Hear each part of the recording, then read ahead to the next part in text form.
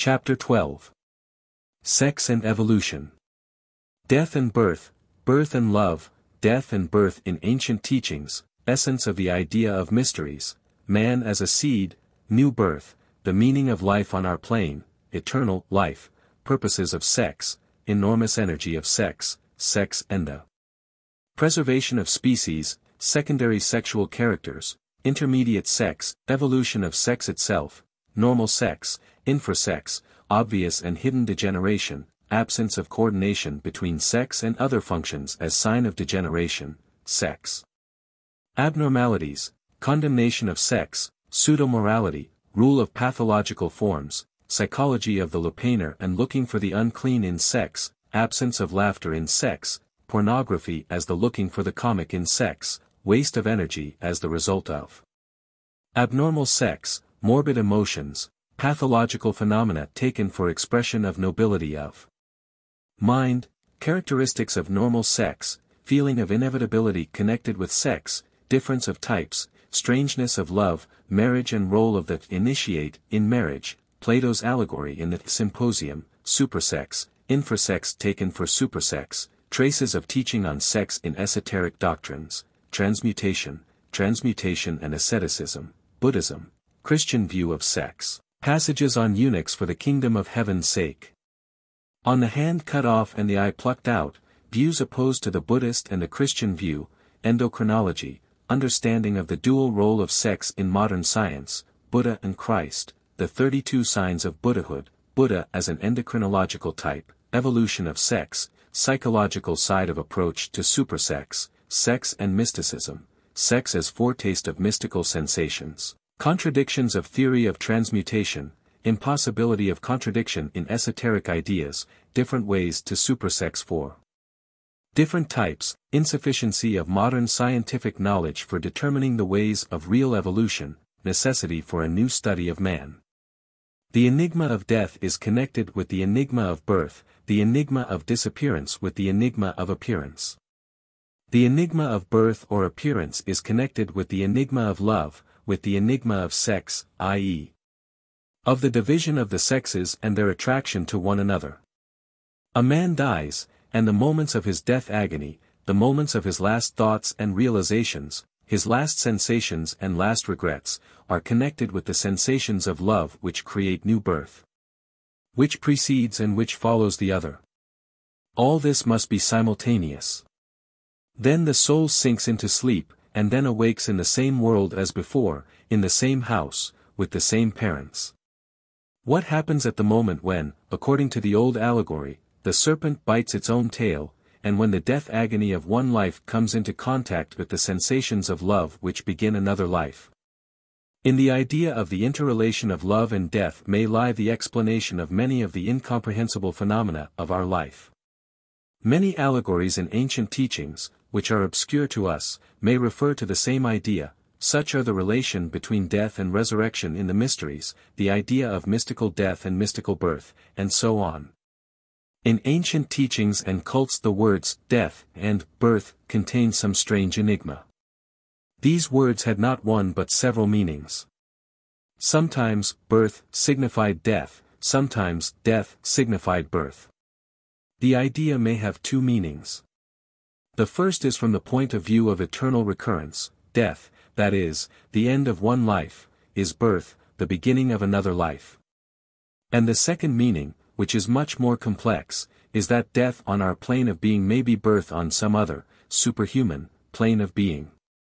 But here it is necessary to proceed very carefully in order to avoid the spiritualistic understanding of death as birth and birth as death, when physical death is regarded as birth on the astral plane, in the world of spirits.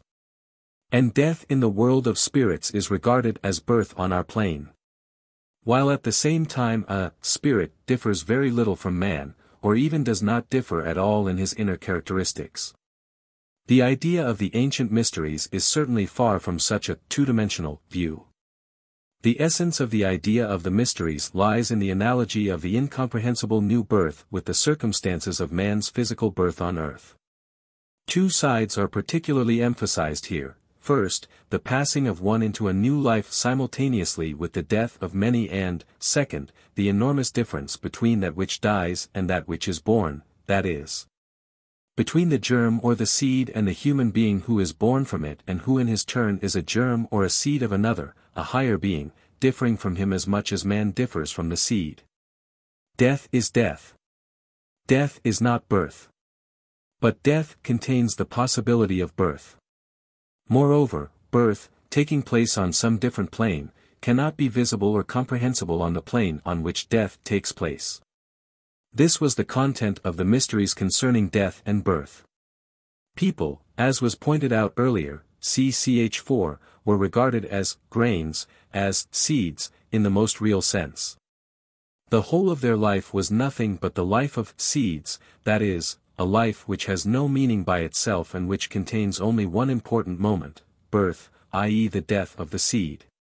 This was the secret which was revealed to the initiated. The idea was that having learned, that is, having fully understood and felt, this secret, the man could no longer remain as he was before. The new understanding began to work within by itself, to give new meaning to the whole of life and to guide his own life and activities along a new path. If we could accept the idea of none as a seed and if we could find confirmation of it as a theory, this would radically change all our conceptions of man and humanity and would explain at once many things at which before we have only dimly guessed. The life which we know, in itself contains no aim. This is the reason why there is so much that is strange, incomprehensible and inexplicable in it. And indeed it cannot be explained by itself. Neither its sufferings nor its joys, neither its beginning nor its end, nor its greatest achievements, have any meaning. All these are either a preparation for some other, future, life, or merely nothing. By itself life here, on our plane, has no value, no meaning and no point. It is too short, too unreal, too ephemeral, too illusory, for anything to be demanded of it, for anything to be built upon it, for anything to be created out of it. Its whole meaning lies in another, a new, a future, life, which follows upon birth. Does not this appear as the inner meaning of religious teachings of esoteric origin, particularly of Christianity? And does it not explain all that especially strikes us in life as incongruous and incompatible? If we, that is humanity, are only seeds, only germs, there cannot, nor could there possibly be, any meaning in our life on this plane.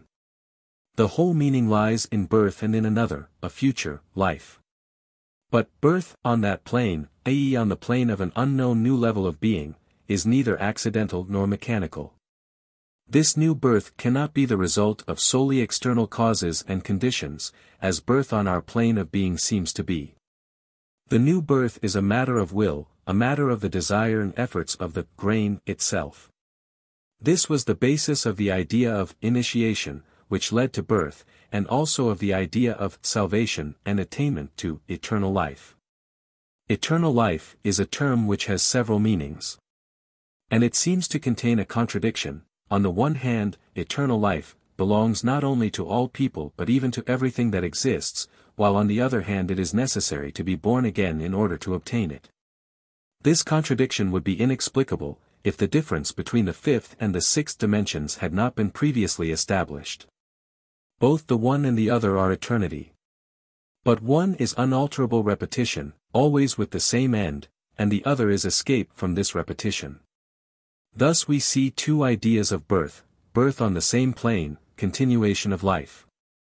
And birth on another plane, regeneration, transformation, escape from the first plane. This escape may imply so many new facts which are quite unknown and inconceivable on our plane that we can have no clear idea about the consequences of escape. Birth, in the ordinary sense of the word, is connected with sex, i.e. with the division of the sexes and with their attraction to one another, with love. This attraction of the sexes to one another constitutes one of the chief motive forces in life, and its intensity and the forms of its manifestation determine almost all other characteristics and qualities in man.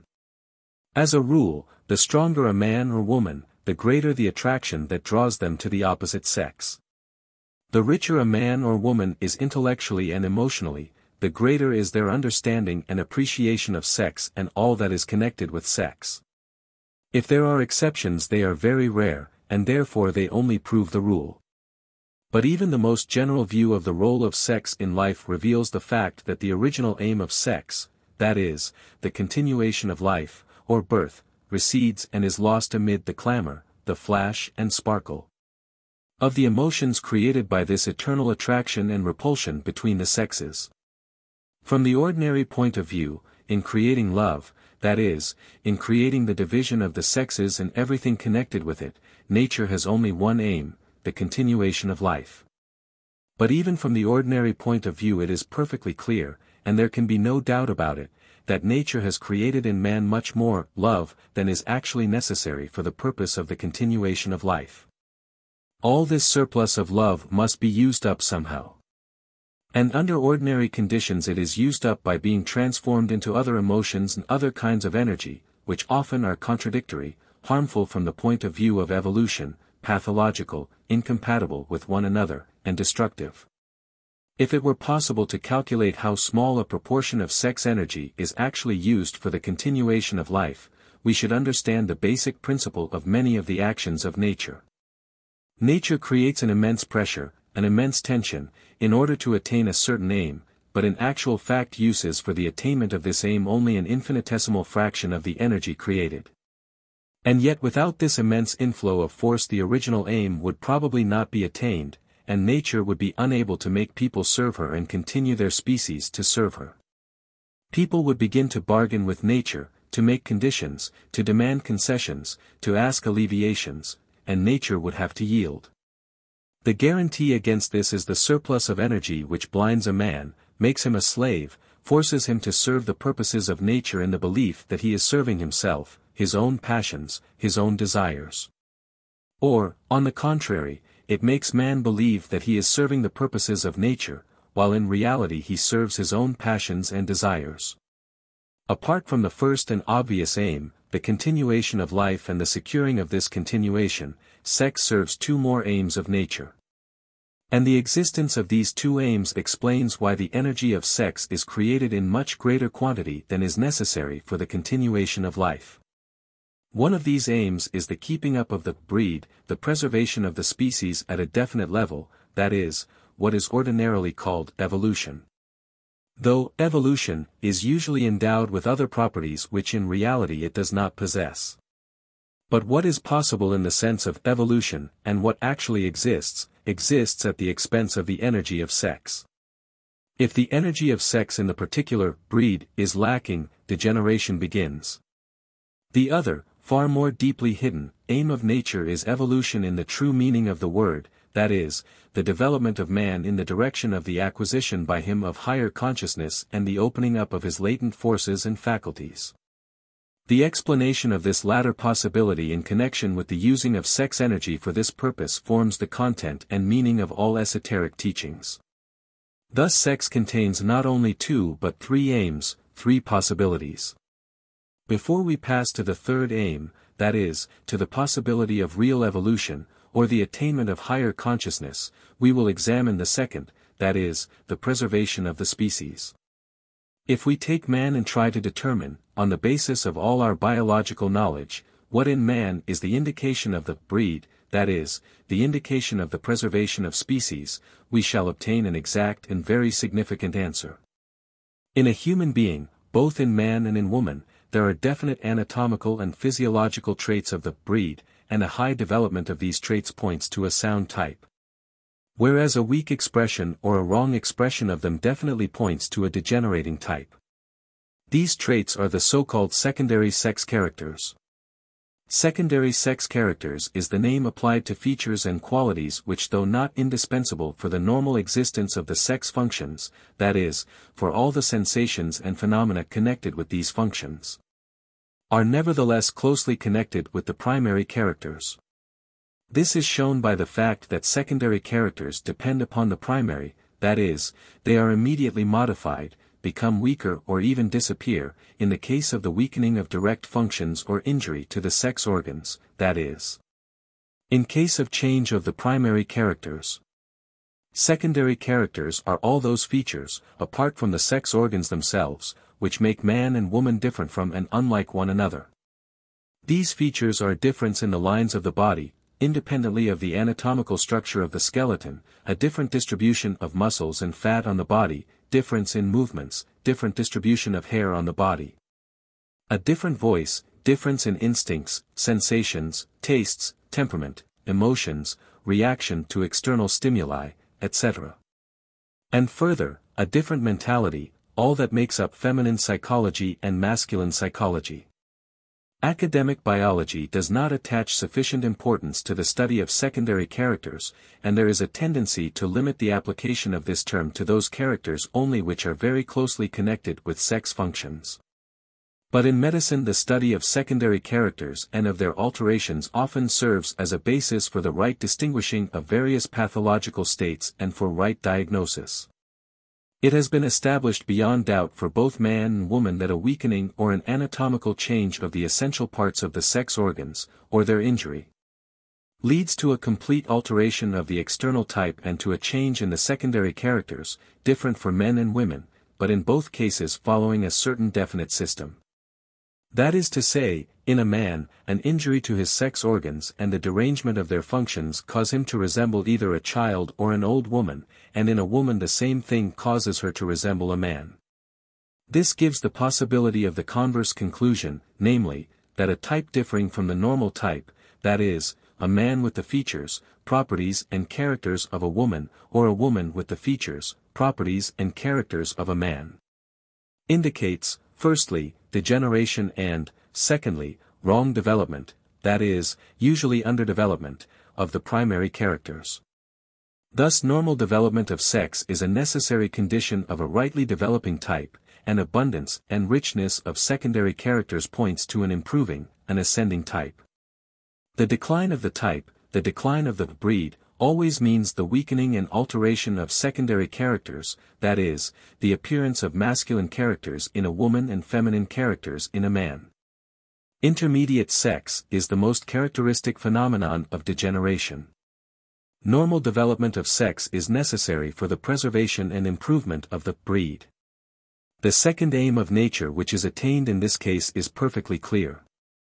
And it is clear that the surplus of sex energy is used precisely for the improvement of the breed. The third aim of nature connected with sex, that is the evolution of man towards Superman, diners from the first two aims in that it requires conscious actions on the part of the man himself, and a definite orientation of his whole life. An idea of which is given by the systems of yoga. Almost all the occult teachings which recognize the possibility of the evolution or transformation of man see the basis of this possible transformation in the transmutation, that is, in the conversion of certain matters or energies into quite different matters or energies, in this case in the transformation of sex energy into energy of a higher order. This is the inner meaning, sometimes deeply hidden, sometimes almost obvious, of many occult teachings, of theories of alchemy, of various forms of mysticism, of yoga systems, and the like. In all teachings that admit the possibility of the change and inner growth of an individual man, that is, evolution not in a biological or anthropological sense, but as applying to the individual. This evolution is always based on the transmutation of sex energy. The utilization of this energy, which is wasted unproductively in ordinary life, creates in a man's soul the force which leads him to the superhuman. There is no other force in man which could replace sex energy. All other energies, intellect, will, feeling, feed on the surplus of sex energy, grow out of it and live by it. The mystical birth of man, of which many systems speak, is based on transmutation, that is, on the transmutation of sex energy. There are many occult and religious systems which not only recognize this, but attempt to give practical directions as to how to curb the energy of sex and how to subject it to the interests of inner evolution. These directions are usually utterly fantastic and cannot give any results, because they omit something which is most vital and most necessary. Nevertheless, the study of such theories and methods presents a certain interest from the psychological and historical point of view. But before coming to the study of the ideas of transmutation, both in their right form, from the very few existing sources, and in their wrong form, from the very numerous sources. It is necessary to elucidate certain aspects of the biology and functioning of sex when it fulfills the two first designs of nature. Namely, it is necessary to establish whether sex in itself evolves. Can forms of evolving sex be found in man? Does the evolution of sex exist, that is, the evolution of primary characters and evolution of sex functions, and what does the evolution of sex functions mean? If evolution of sex exists, there should be forms lower than the form we consider normal, and there should be forms higher than the form we consider normal. What then is the lower form and what is the higher form? The moment we ask ourselves this question we are confused and perplexed by the ordinary conceptions of naive Darwinism and of the usual evolutionary theories, which tell us of lower forms of sex in lower organisms, in plants, etc. Of the propagation of fungi and the like. But all this is quite outside the scope of the question we have set ourselves. We are dealing only with man, and we must think only of man. In examining the question before us we must try to establish what constitutes normal sex in man, then determine the lower forms of the sex life of man, that is. The forms which correspond to a degenerating type or to a type arrested in its development, and then determine the higher, that is, evolving, forms, if such forms exist. The difficulty of defining normal sex is created first of all by the indeterminateness of the characteristics and properties of lower sex, also by the complete absence of any understanding of what higher sex may be, and, further, at times even by the confusing of the lower with the higher, of the degenerating with the evolving. Taking all this into consideration, it is necessary, before attempting to define normal sex, to determine lower sex, or infrasex. A beginning has to be made with infrasex because an understanding of suprasex can be arrived at only through the elimination of everything that is determined first as infrasex, and second as normal sex. It is comparatively easy to establish infrasex, if we take as its chief characteristic arrested development or a degeneration which has begun or is beginning. But the detection of infrasex is impeded by the variety and contradictory character of the forms in which infrasex is manifested, and especially by the fact that some of these forms, from the ordinary point of view, appear to be a strengthening and an exaggerated development of sex energy, sex desires and sex sensations. Therefore from the very beginning infrasex must be divided into two categories, obvious degeneration and hidden degeneration. To the first category of infrasex belong most declining forms of manifestation of sex such as all obvious sex abnormalities, that is underdeveloped sex, all perversions, in the sense of either abnormal sex desires or abnormal sex abstinence. Disgust of sex, fear of sex, indifference to sex, interest in one's own sex, though the latter has quite a different meaning in men from what it has in women, and in women it is not necessarily a sign of infrasex.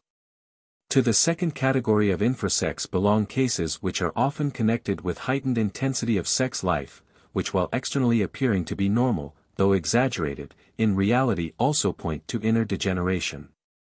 This category of infrasex will be dealt with later. For all categories of infrasex the fundamental characteristic is the absence of coordination between the idea of sex and the ideas of other normal functions of man.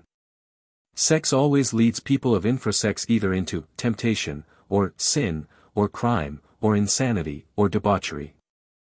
For normal man or woman sex contains no danger.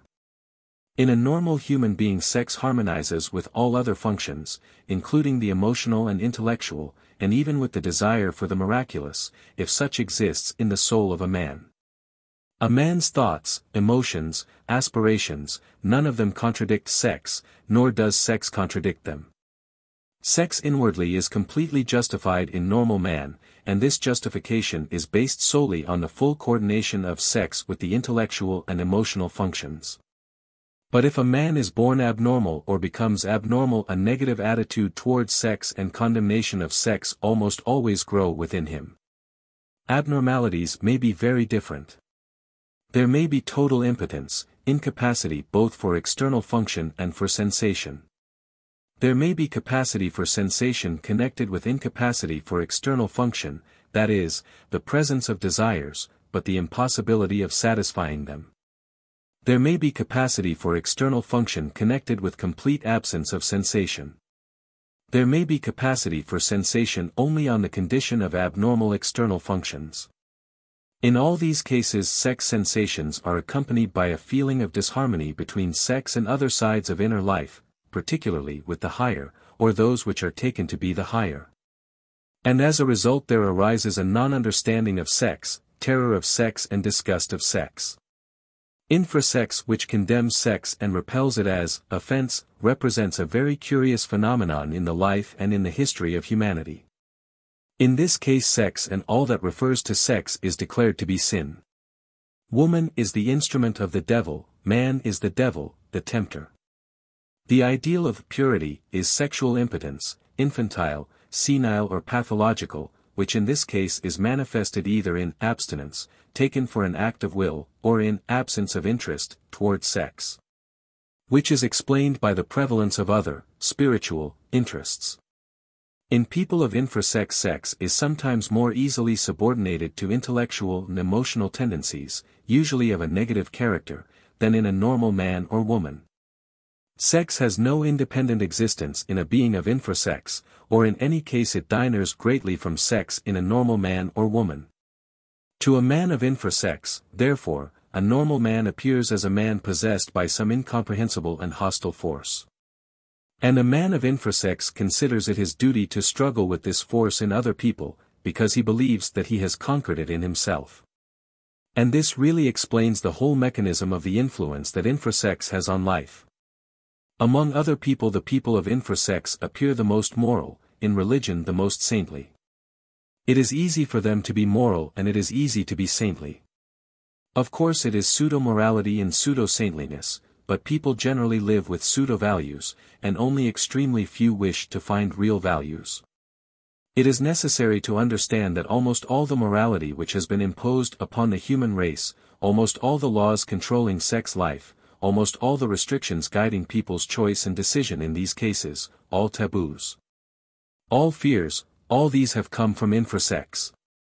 Infrasex, precisely in virtue of its difference from normal sex, in virtue of its inability to become normal and in virtue of its non-understanding of normal sex, began to regard itself as superior, began to dictate laws to normal sex.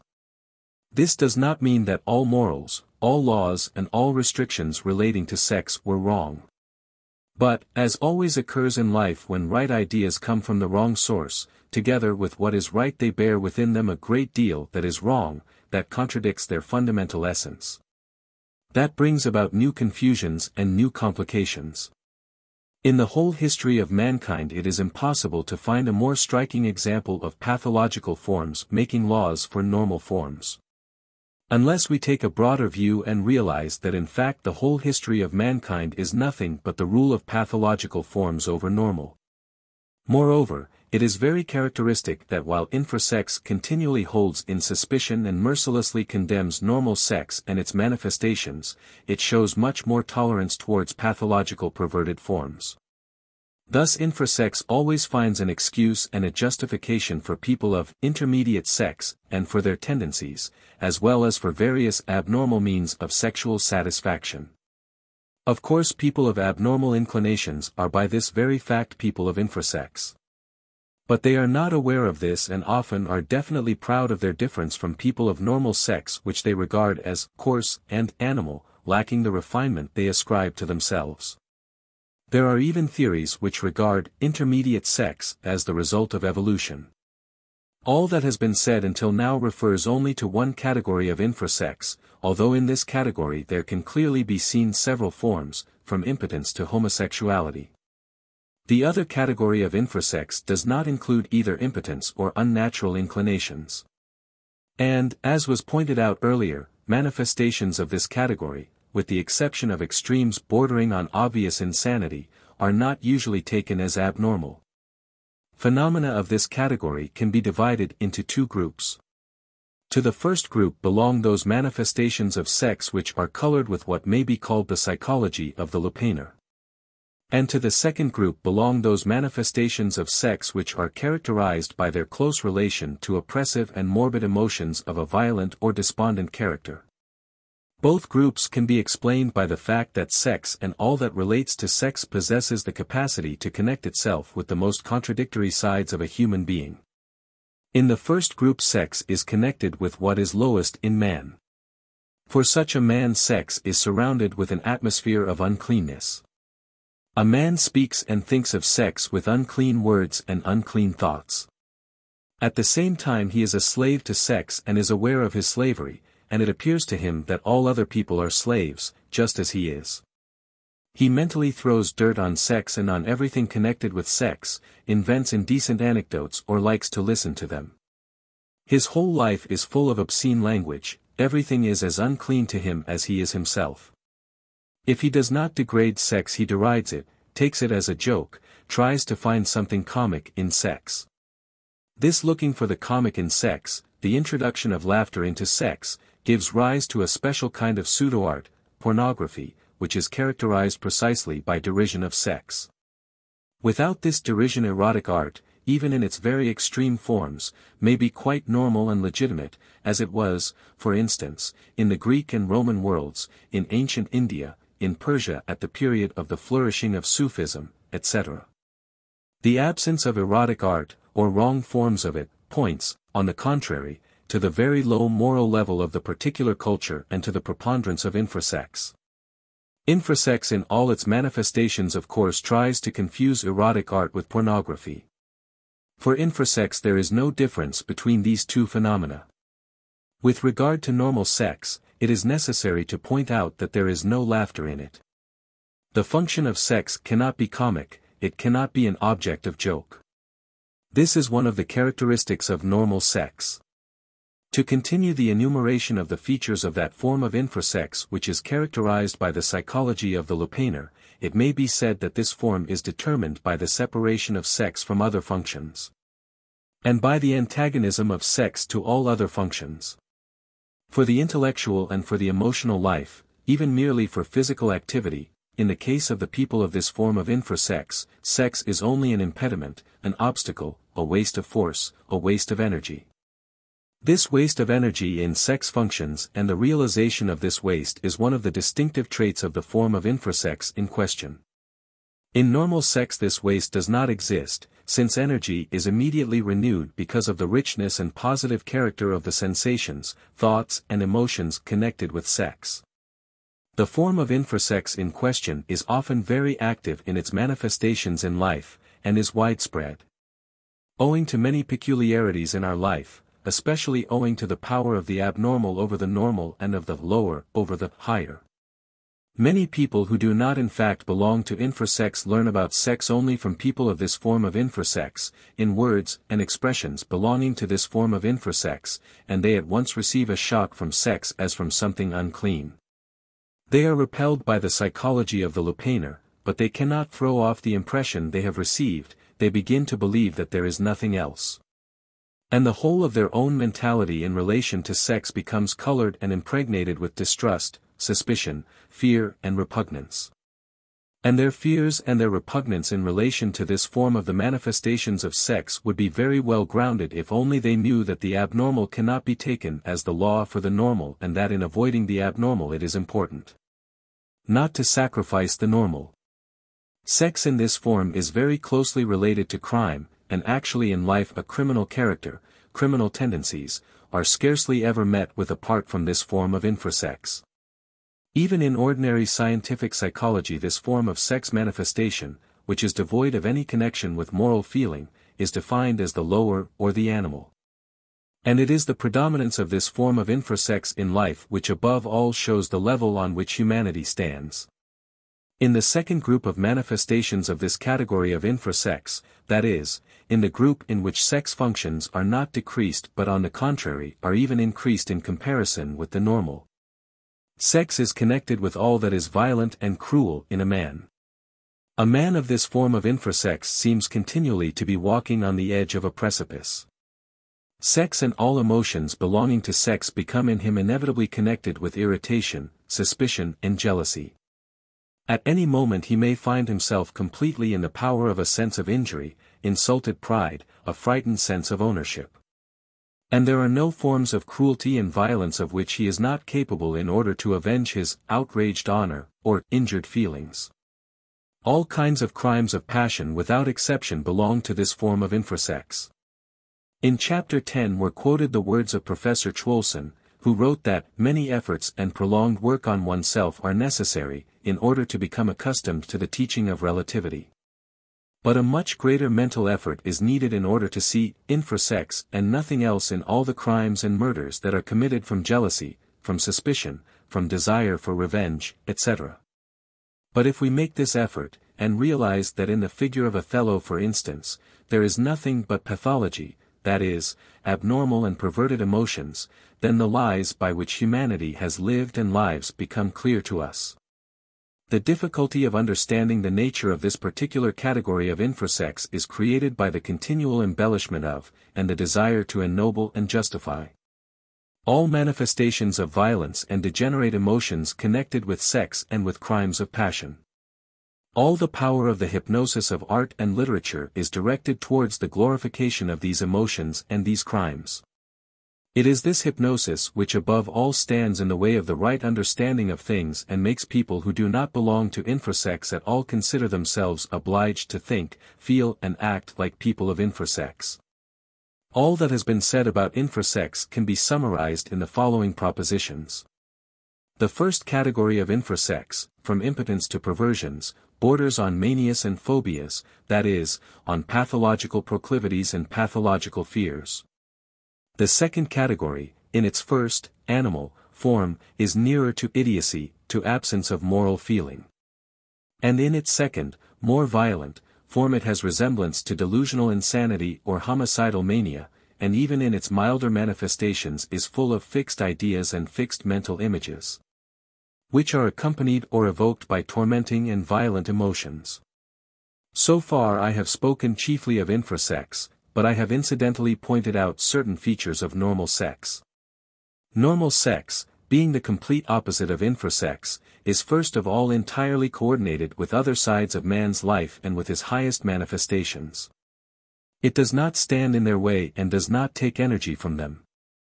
The energy used in the functioning of normal sex is immediately replaced owing to the richness of the sensations and impressions which are received by the intellect, the consciousness, and the feeling. Further, in normal sex there is nothing that can be the subject of laughter, or that can be connected with anything that may be negative in man. On the contrary it repels, as it were, everything that is negative, and this in spite of the very great intensity of sensations and feelings connected with it. It does not follow that a man of normal sex is free from sufferings or disappointments connected with sex life. So far from that, these sufferings may be very intense and acute, but they are never caused by the inner discord between sex and other functions, especially intellectual or higher emotional functions, as is the case in infrasex. Normal sex is coordinated and harmonious, but life is not coordinated and is not harmonious, therefore normal sex may often bring much suffering. But a man of normal sex does not blame other people for his sufferings and does not try to make others suffer. In his feeling there is a great understanding of the inevitability and fatality of everything connected with sex, and it is this understanding of inevitability that helps him to find a way through the maze of contradictory emotions. The contradictory and uncoordinated nature of many emotions connected with sex, apart from the influence of life in general and of various kinds of infrasex, is often due, in people of normal sex, to a different cause. This cause has hardly been touched upon by European psychology, though at the same time it is perfectly clear to ordinary observation. This cause is the difference between types. Science has approached and is approaching from different sides the idea of the difference of types, but the fundamental principles of this difference are as yet unknown. Until quite recently the old division into four temperaments, with certain modifications was admitted. Some time ago there were established different types of memory, such as auditory, comma, visual, comma, narrative, and so on. At present there are established four types of blood, in endocrinology there are attempts to divide men into types according to their formula, or according to their constellations, that is. According to the combination of inner secretions working in them. But all this is as yet very far from the recognition of the radical and essential difference between various types of people, and from the actual establishing of these types. Exact and complete knowledge of types exists only in esoteric doctrines and therefore does not enter into the scope of the present subject. All that can be established by means of ordinary. In ordinary life, owing to the many external influences which control people's lives, the law of the attraction and repulsion of types becomes partly modified, but in one direction only. This means that even the right and corresponding types may be repelled by one another and not feel one another under the influence of emotional conflicts and difference in tastes and understanding. But wrong and non-corresponding types cannot ever or in any circumstances feel one another. Moreover, even the slightest element of infrasex either in the man or in the woman brings their relations, their feelings, and their sensation of one another down to a lower category, or even completely destroys all that was positive in them. If any escape from the law of the action of types is at all possible, it is possible only through following the principles of Karma Yoga and with the condition of a full understanding of the nature of the difference between types.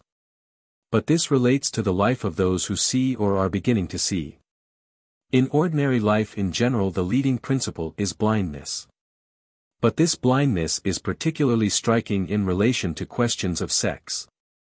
Thus in ordinary understanding the idea is not admitted, and is even entirely unknown, that in the case of wrong combination of types one of them or both will not feel the other at all.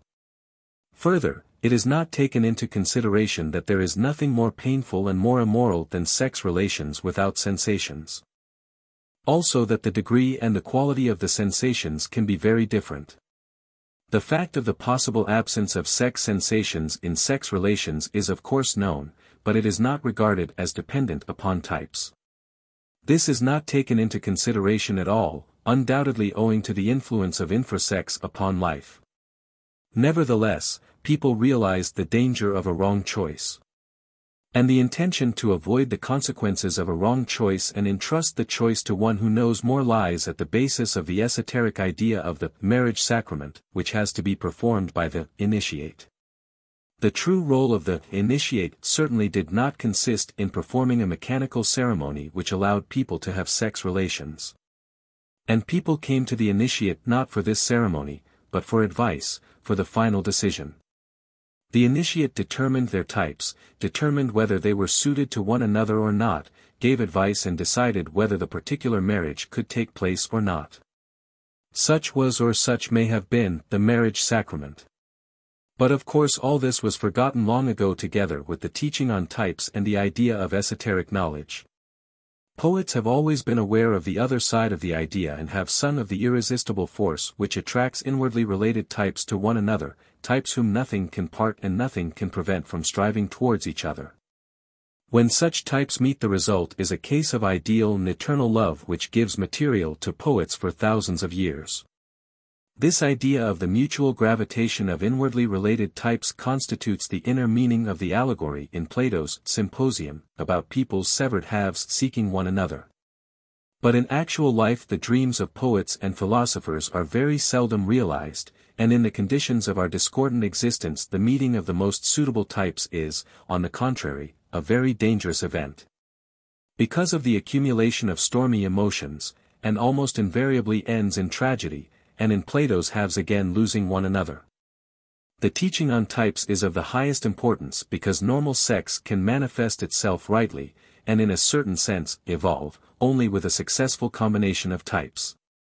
It is also necessary to understand that the division of types, in itself, is the result of evolution, because among more primitive people the types are divided less markedly and completely. So that strongly expressed type is a kind of secondary character. We must now try to establish what higher sex may be and whether any forms actually exist which can be considered as belonging to suprasex.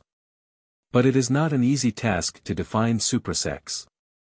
To be more precise, the scientific material at our disposal contains no data for such a definition. And for material bearing on this question it is necessary to turn to esoteric doctrines.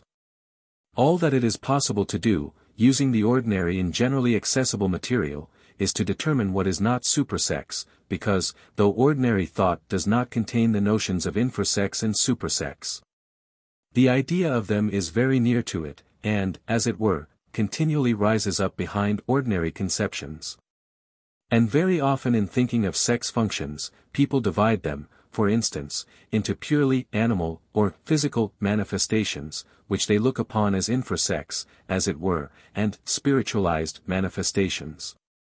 Which for them take the place of suprasex.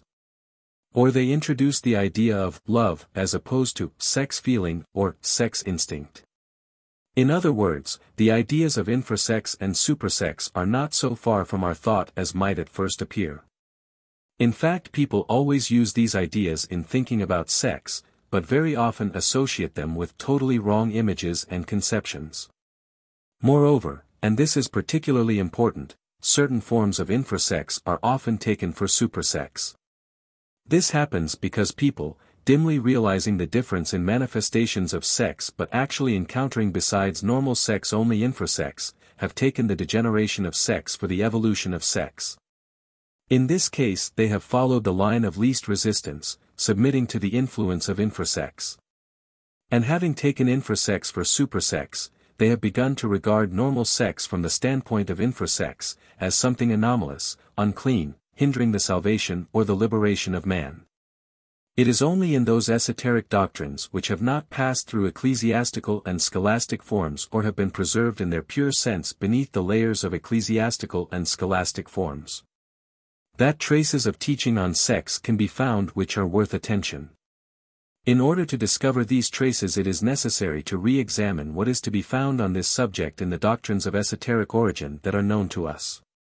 From the standpoint of esoteric doctrines the outward aim of sex, that is, the continuation of life, and also the perfecting of breed by the development of secondary characters, is regarded as mechanically assured. And the whole attention of these doctrines is turned towards the hidden aim, that is, the possibility of a new birth, which on the contrary is not assured at all. To return to the idea of transmutation or the intentional using of sex energy for the purposes of inner evolution.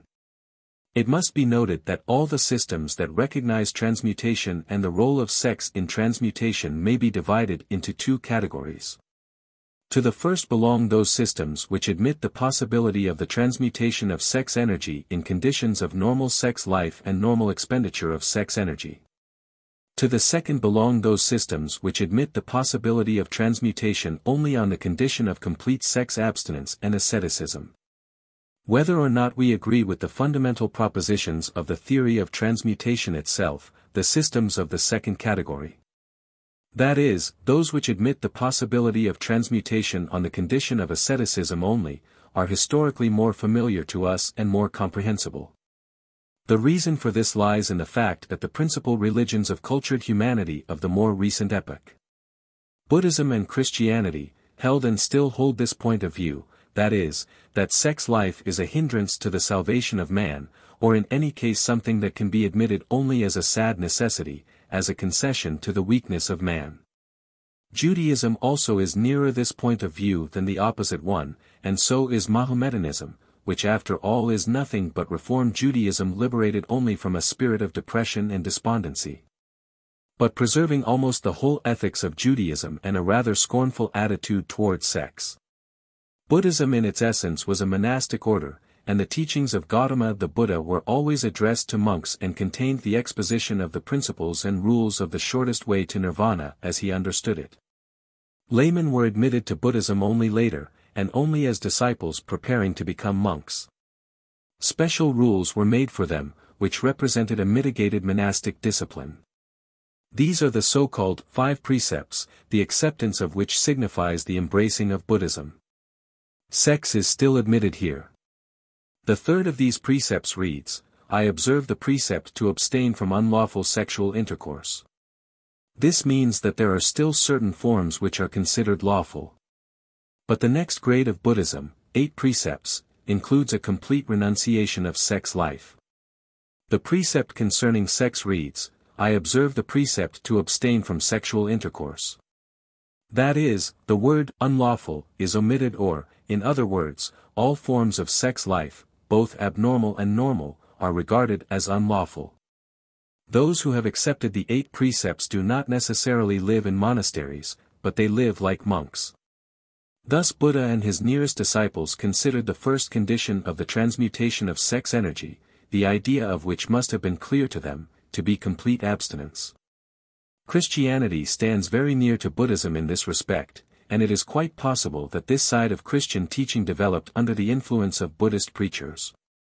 The role of the Apostle Paul and the influence of Judaism in creating the Christian view of sex have been pointed out earlier. Great significance for the establishing of the Christian view of sex was contained in Christ's enigmatic words. For there are some eunuchs, which were so born from their mother's womb, and there are some eunuchs. Which were nude eunuchs of men, and there be eunuchs, which have made themselves eunuchs for the kingdom of heaven's sake. He that is able to receive it, let him receive it, Matt. 19.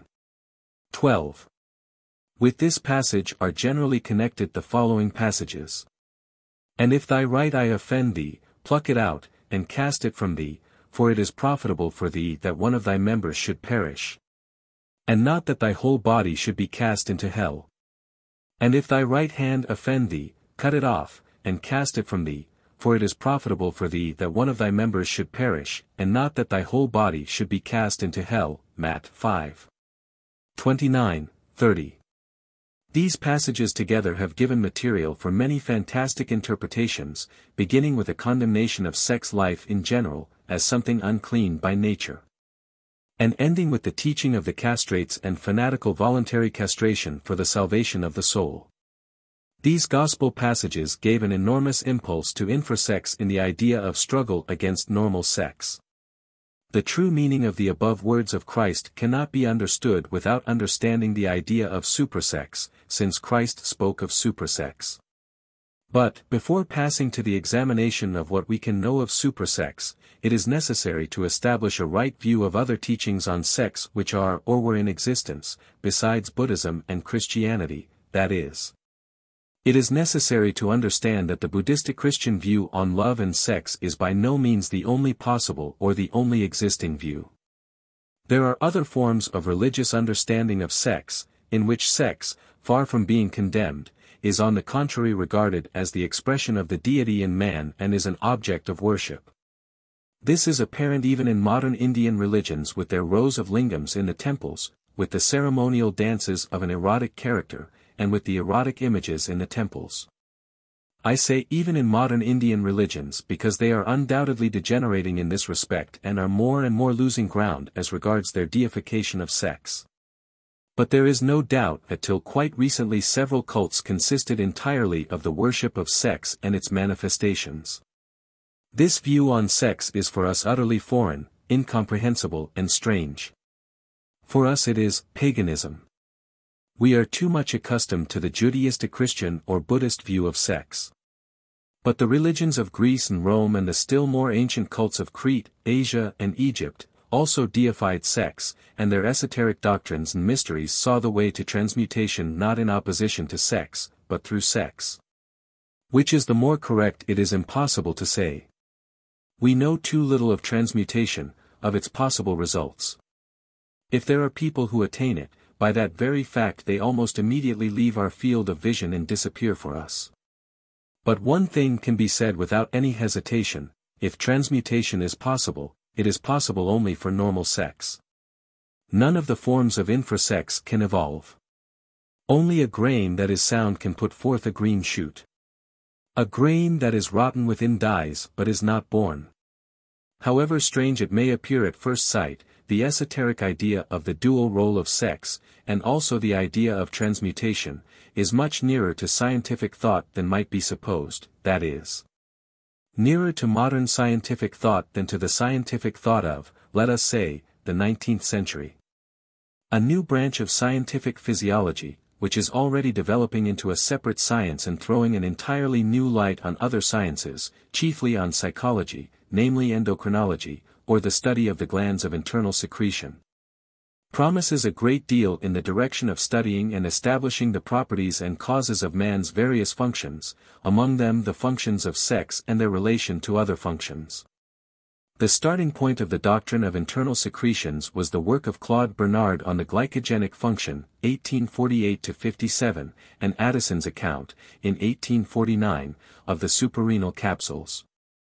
This led to experiments by Brown-Sequard, who, in 1891, introduced the notion of specific substances secreted into the blood by the various organs, and also the concept of functional humoral correlation.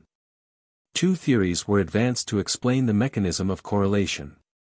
The first was the theory of hormones, the presence of which was established experimentally in 1902. The second was the theory connecting the endocrine secretions with the autonomic nervous system. Experiments, both surgical and by injection of gland extracts, were carried out on the adrenals, thyroid, parathyroid, and other glands, although, in the last 30 years, attention has been centered more on the pituitary body. Which was visualized as leader of the endocrine system. That the internal secretions control the configuration of the body and are the activators of emotion, is emphasized by many writers.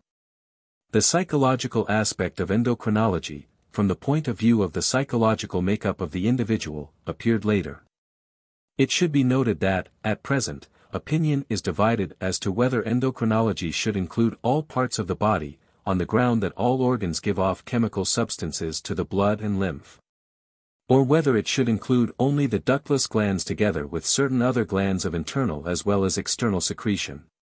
In what follows, endocrinology is taken as the study of the glands of internal secretion, and also of the glands of internal and external secretion, that is, as a part of a wider science, hormonology which studies the internal secretions of all organs.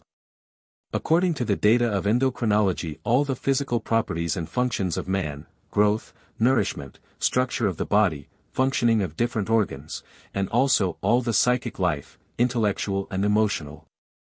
The whole psychic makeup of a man, his activity, his energy, his strength, all these depend on the properties and on the character of the activity of the glands of internal secretion, which produce motive power for the working of the organs. The nervous system, the brain, and so on. All the external characteristics, everything we can see in a man, his height, the structure of the skeleton, the quality of the skin, eyes, ears, hair, voice, respiration, way of thinking, quickness of perception, character, emotionality. Willpower, energy, activity, initiative, all these depend on the action of the glands of internal secretion, and, so to speak, reflect their state. Endocrinology has made an enormous stride in the study of man, a stride the true significance of which is as yet far from being appreciated and understood. Scientific psychology, the development of which came to a complete stop about the end of the 19th century and which in the first decades of the 20th century did not produce a single work worthy of attention, is beginning to acquire new force and to revise all its theories from the standpoint of the ideas of endocrinology. In the works on endocrinology which have already appeared there are some interesting attempts at the interpretation of the fate of historical personages from the point of view of the study of their endocrinological type, that is, of the combination of their internal secretions at different periods of their life. As an example of such attempts I will refer to two books by Dr. Berman of New York. In the first of these books. The Glands Regulating Personality, Dr. Berman, having indicated the principles of the endocrinological study of man which he follows, takes several historical personages with regard to whom there exist more or less definite data. The first of these is Napoleon, as known by his portraits, by the memoirs of his physicians, and by the data of the autopsy on his body in the island of St. Helena. On the basis of these data Dr. Berman gives, so to speak, an endocrinological history of Napoleon, that is to say, he explains, from his point of view, under the influence of which glands of internal secretion the different periods of Napoleon's life passed. Thus Dr. Berman explains all the failures of Napoleon's last campaigns, ending in the catastrophe of Waterloo, by the weakening of the secretions of the pituitary gland, which became even more accentuated on the island of St. Helena and completely changed his personality. Later, Dr. Berman takes Nietzsche, Charles Darwin, Oscar Wilde, Florence Nightingale and others. In his second book, The Personal Equation, He examines types which result from a predominance of one or another gland, and considers man as a marionette controlled by glandular secretions. Dr. Berman's books cannot be called scientific. They are rather fantasties on endocrinological themes. But Dr. Berman's fantasies come very near to the real facts, which are not yet dreamt of in philosophy. From a strictly scientific point of view almost every separate conclusion of Dr. Berman can be refuted or regarded as unproved. And it is quite possible that each separate conclusion of Dr. Berman will be refuted, sooner or later. But what will not be refuted, but will on the contrary be established and proved, are the principles upon which he bases his reasonings. These principles will remain and will form the foundation for a new understanding of man, that is, new for modern thought, but in reality approaching the esoteric more and more nearly. In connection with the problem of infrasex and suprasex, what is of particular interest is the meaning and role of the internal secretion of the sex glands. And the effect of this secretion upon all the functions of man and also upon other secretions. As was established by physiology before the appearance of endocrinology as a separate science, the sex glands are at the same time glands of external and of internal secretion. And the internal secretion of the sex glands is the chief factor in creating and regulating the development of secondary sex characters. To such an extent is this so that in the case of injured sex glands or in the case of castration, when internal secretion ceases or is impaired, secondary characters disappear or become modified, and a man becomes a degenerate type of infrasex.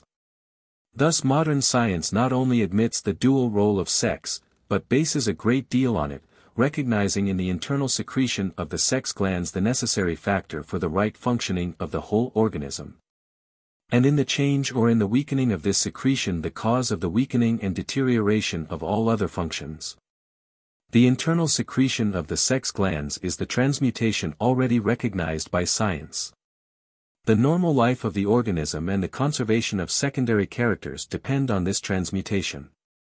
Every weakening of the secondary characters points to the weakening of the transmutation, a considerable weakening or a cessation of transmutation produces infrasex.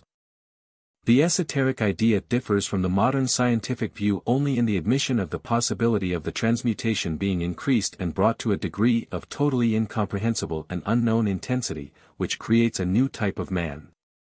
If this new type of man belongs to suprasex, what then does suprasex mean? Attempts at the endocrinological study of historical personages, as well as clinical investigations, establish quite clearly the facts of infrasex, their origin, causes and effects. But they say nothing about suprasex. Where then can material for the judging of suprasex be looked for? On the horizon of our history we see two superhuman figures, Gautama the Buddha and Christ. Whether we take them as real men who actually existed, or as myths, as creations of popular fancy or esoteric thought, we find in them common features. The story of the life of Gautama the Buddha tells us that in his youth Prince Gautama was surrounded by a brilliant court, full of beautiful young women, that he was married and had a son. He abandoned all this when he retired into the desert, and in his later life sex had no part.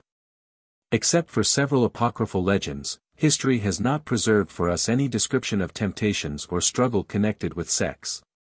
Jesus is even more definite from this point of view. We know nothing of his sex life. So far as we know there was no woman in his life. Even in the temptation in the wilderness the devil does not try to seduce him with a woman. The devil shows him the kingdoms of the world in all their glory, promises a miracle, but does not offer love.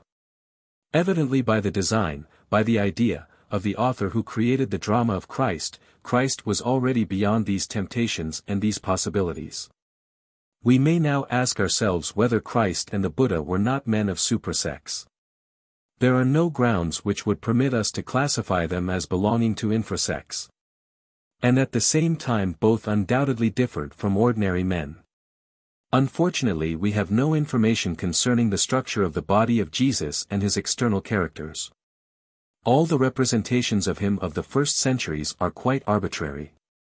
But with regard to the Buddha the position is different, because there exists a very exact and detailed description of the structure of his body and of all his external features and characters. I mean by this the so-called 32 signs of Buddhahood and the 80 minor marks. Concerning these signs there exists a legend which was in part adopted by the writers of the Gospels in relation to Christ. When the Buddha was born, Asita, the old hermit, came down from the Himalayas to Kapilavastu. When he entered the palace, he offered the Urga sacrifice at the feet of the babe.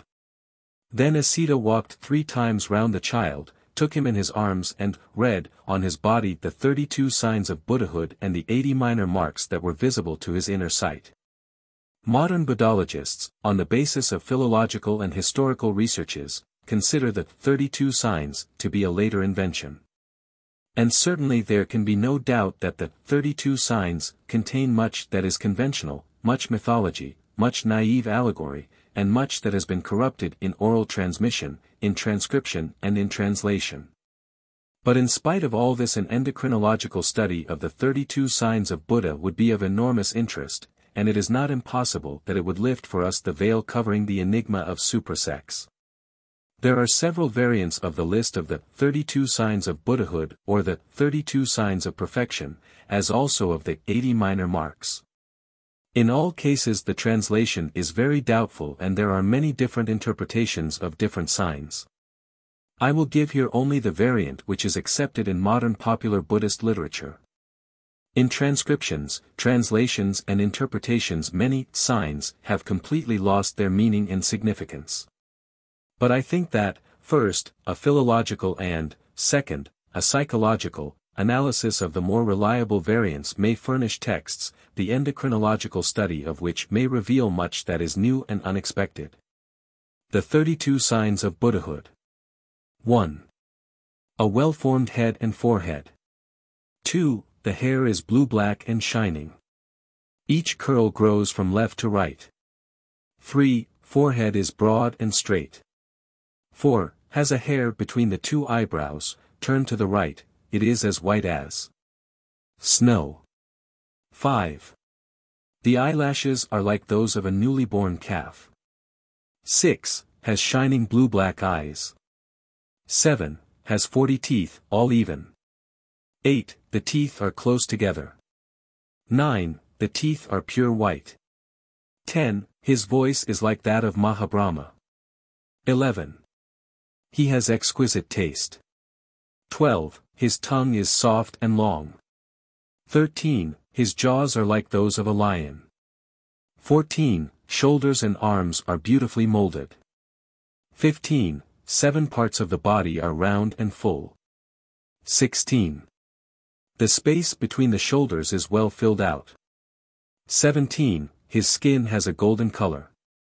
18. His arms are long, so that when he stands without bending his hands can touch his knees. 19. The upper part of his body is like that of a lion. 20. His body is straight like that of Mahabrahma. 21. From each hair sac a single hair grows. 22. These hairs bend to the right at the top. 23. The organs of sex are hidden by nature. 24. The calves of his legs are full and round. 25. His legs are like those of a deer. 26. His fingers and toes are slender and of equal length. 27. His heels are long. 28. The instep of his foot is high. 29. Feet and hands are delicate and long. 30. Fingers and toes are covered with an epidermis. 31. His feet are flat and he stands firmly. 32. Under the soles of his feet two shining wheels appear with a thousand spokes. What deductions from the point of view of endocrinological theories can be made from a study of the 32 signs of Buddhahood? And can any deductions be made? I think this is a matter for specialists. One thing however is undoubted, which is that if we take the 32 signs as a real description of a living man, we shall be compelled to say that such men do not exist. Buddha combines in himself contradictory features. He has features which seem to point to femininity, others to infantilism, and side by side with these there are features which point to an exceptionally strong development of the masculine type. Speaking generally, Buddha's secondary characters are intermixed, and in such combinations they are not met with in life. Buddha is a strange and a new type of man. And as it can already be regarded as established that all external features and characters depend upon one or another form of the development of the glands of internal secretion. The picture of the development of Buddha's internal secretions must be something utterly improbable and new. Moreover, the internal secretion of the sex glands in his case appears to be not weakened, as it should have been, judging by several characters, but on the contrary intensified to an extreme degree. If this is transmutation, if this is supersex, does it not indicate the course our thought must take in endeavoring to understand the enigma of the evolution of man? And does it not mean that in the process of evolution sex energy, as it were, turns inward within the organism and creates in it a new life, capable of ever new, of eternal regeneration? If this is the way of the transformation, evolution, of man, it means that man is a strange biological type, whose sex period, the period of propagation, belongs to the lower, or middle, phase of transformation.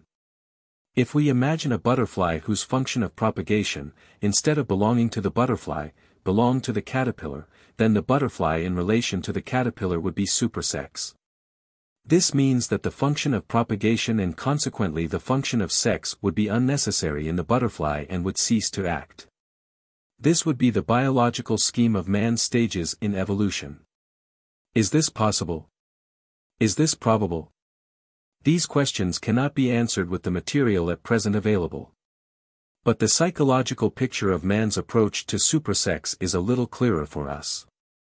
There are in life strange emotions and strange sensations, inexplicable from an ordinary point of view, and in love and all sex sensations there is a strange melancholy and a strange sadness.